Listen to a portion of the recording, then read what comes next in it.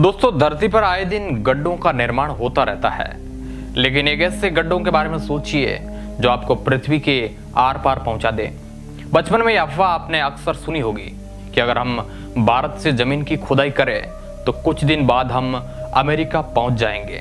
खैर, बचपन की ये बातें हैं अब आपको बेशक बेतुकी लगती होगी। अगर सच में ऐसा होता तो लोग यातायात के इसी साधन का इस्तेमाल करते हैं और अमेरिका पहुँचने के लिए जगह जगह सुरंग खोदते चले जाते हैं। लेकिन ये इतना भी आसान नहीं है काम। धरती को गहराई तक खोदने की अपनी भी एक लिमिट है, जिसके आगे खोदना या जाने की कोशिश करना अपनी मौत को बुलावा देने जैसा है। विश्वास नहीं होता है तो आज की वीडियो देखने के बाद आपको ज़रूर हो जाएगा। अगर आप भी उन लोगों में से हैं जो सोचते हैं कि पृथ्वी को अपनी मर्ज़ी के मुताबिक कितनी भी गहराई तक खोद सकते हैं और उसके आर पार जा सकते हैं। तो आज की वीडियो में हम कुछ ऐसे ही सवालों का जवाब लेकर आए हैं। क्या सच में पृथ्वी के आर पार कोई गड्ढा खोदा जा सकता है? और आखिर आज तक साइंटिस्टों ने पृथ्वी की कितनी गहराई तक खुदाई की है?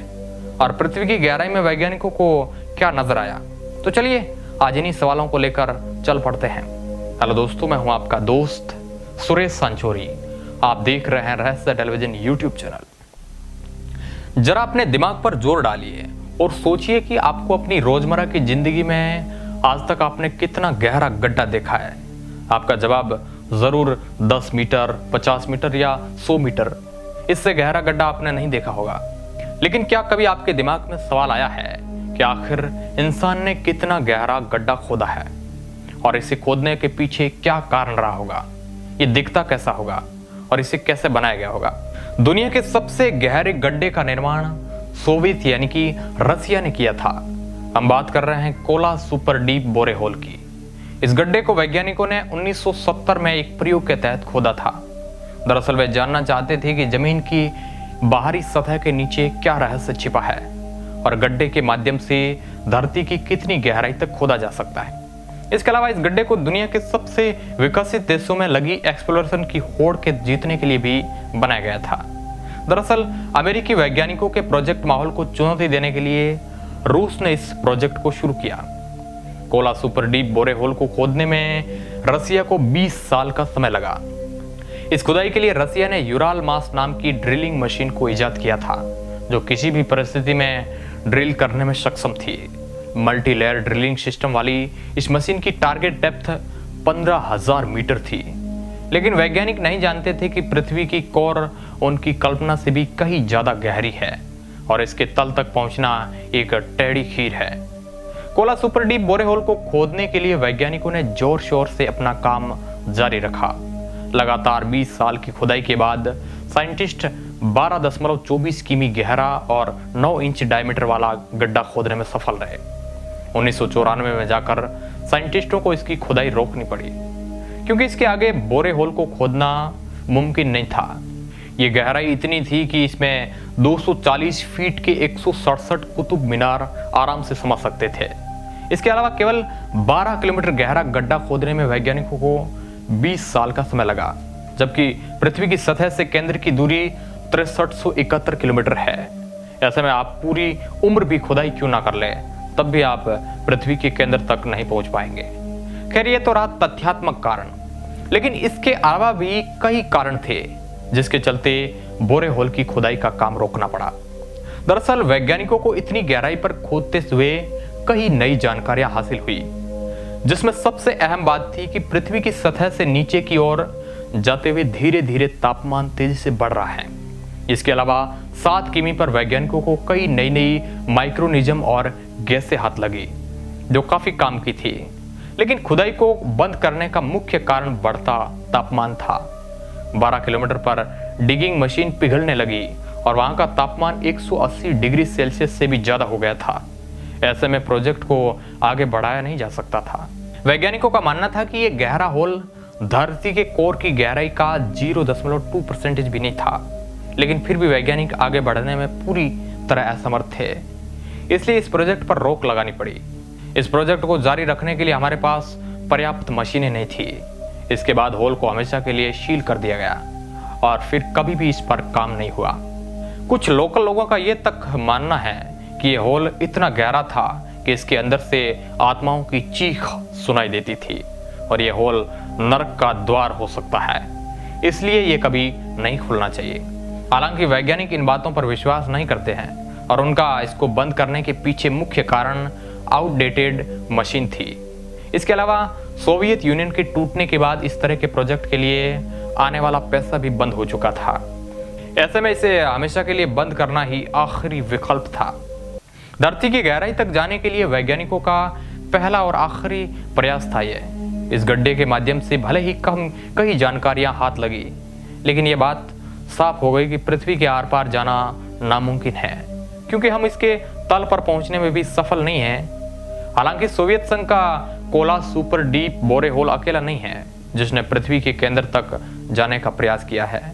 कोल्ड वार के दौरान सभी महाशक्ति देश पृथ्वी की सतह से कोर तक गहरी ड्रिल करने के लिए राज़ी थे, लेकिन यह एक महँगा और खर्चीला प्रोजेक्ट था, जिसे बाकी देशों ने कुछ समय बाद बंद कर दिया, त्याग दिया। और रसिया ने इसे 20 साल तक जारी रखा, ताकि विज्ञान के क्षेत्र में बाजी मार पाए रशिया पर ऐसा कुछ हुआ नहीं। इससे यह बात साफ़ होती है कि पृथ्वी के केंद्र में पहुँचने के सभी वैज्ञानिक प्रयास कई मायनों में विफल है। ऐसे में सवाल आता है कि अगर हम पृथ्वी के केंद्र तक पहुँचने का प्रयास करें तो वह हमें क्या देखने को मिल सकता है? भले ही आज ये मुमकिन नहीं है, पर क्या ज़रूरी मशीनों के साथ ये मुमकिन हो सकता है? और अगर ऐसा हो सकता है तो क्या हम पृथ्वी के आर पार भी निकल पाएँगे। क्या हम पृथ्वी के आर पार जा सकते हैं? अगर तथ्यों को साइड में रखकर मान भी ले कि भविष्य में हम पृथ्वी के केंद्र तक कभी गड्ढा खोद कर पहुँच पाएँगे तो भी ग्रह की सतह के नीचे हम लगभग 48 किमी पर मेघमा से टकराएँगे। ऐसे में पृथ्वी के केंद्र में जाने के लिए कुछ तैयारियाँ हमें करनी ज़रूरी है। सबसे पहले वहाँ जाने के लिए हमें एक सुरक्षात्मक हीट सूट की ज़रूरत होगी, जो हमें मोल्टन कोर की गर्मी से जलने से हमें बचा सके। क्योंकि 12 किमी पर इन तापमान इंसान की सहन की क्षमता से कहीं ज़्यादा हो जाता है। इसलिए हमें एक पुख्ता सूट की ज़रूरत होगी, जो मशीन और इंसान दोनों को गर्मी में सही सलामत रखने का काम कर सके। उसकी heat resistance capability 7000 degree Celsius तापमान से ज़्यादा होनी चाहिए। क्योंकि पृथ्वी के कोर का तापमान 6650 डिग्री सेल्सियस है। यह तापमान सूरज की सतह से भी 2000 डिग्री ज़्यादा है। अगर मान भी ले कि केंद्र में पहुँचने पर हम होट मैग्मा से बचने में सफल रहे तो भी उस क्षेत्र में मौजूद गर्म हवा हमारी जान लेने के लिए काफ़ी होगी। बता दें कि जिस तरह पानी के भीतर जाने पर दबाव बढ़ता है, उसी तरह पृथ्वी के कोर में जाने पर आप ज़्यादा दबाव महसूस करेंगे। आप जितना अंदर जाएँगे, ये दबाव उतना ज़्यादा बढ़ता जाएगा, क्योंकि आपके ऊपर हवा काफ़ी ज़्यादा होगी। पृथ्वी पर अगर हम 50 किमी से भी ज़्यादा नीचे पहुँचने पर कामयाब रहते हैं तो हमें बिल्कुल ऐसा लगेगा जैसे हम समुद्र के सबसे भीतरी भाग में हैं।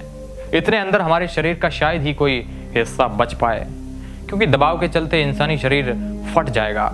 किसी तकनीक के चलते अगर हम इस स्थिति से बचने में भी कामयाब रहते हैं तो भी हमारा ज़िंदा बचना मुमकिन नहीं है। दरअसल पृथ्वी एक घंटे में 1600 किमी से यात्रा करती है। और केंद्र में जाते हुए एक इंसान की स्पीड 28,000 किलोमीटर पर घंटे होगी। यानी हमें पृथ्वी के कोर में पहुँचने में आधा घंटे से भी कम समय लगेगा। इन सभी बातों को साइड रखकर फिर भी अगर हम पृथ्वी के कोर की ओर गए तो हमारा मोमेंटम बेशक ही हमें पृथ्वी की दूसरी ओर यानी कि आर पार ले जा सकता है जिसमें बयालीस मिनट का समय लगेगा। लेकिन जैसे जैसे हम दूसरी ओर पहुँचेंगे वैसे ही पृथ्वी की एक्सट्रीम ग्रेविटी हमें वापस कोर की तरफ़ खींचेगी, जिससे हम वापस वहीं पहुँच जाएँगे जहाँ से यात्रा हमने शुरू की थी। बस फ़र्क इतना होगा कि इस पूरी प्रक्रिया में हम बच नहीं पाएँगे, अपनी जान गवा बैठेंगे। सीधी भाषा में कहे तो पृथ्वी के केंद्र में पहुँचना या फिर इसे आर पार जाना एक ख्याली पुलाव है, जिसे धरातल पर उतारना मुमकिन नहीं है। यही वजह है कि रूस की 20 साल की मेहनत पर पानी फिर गया और इस प्रोजेक्ट को हमेशा के लिए बंद करना पड़ा। जब हम पृथ्वी के केंद्र में जाने में ही असफल है तो पृथ्वी के आर पार जाने का ख्याल तो आप दिमाग से ही निकाल दीजिए। ऐसी कहानियाँ केवल फ़िल्मों में अच्छी लगती है, लेकिन ये कहानियाँ सच्चाई से कोसों दूर है। तो दोस्तों, आज के इस वीडियो में बस इतना ही। अगर वीडियो अच्छा लगा है तो लाइक कर सकते हैं और आपकी इस पर क्या राय है, अपनी राय हमें कमेंट बॉक्स में ज़रूर बताएँ।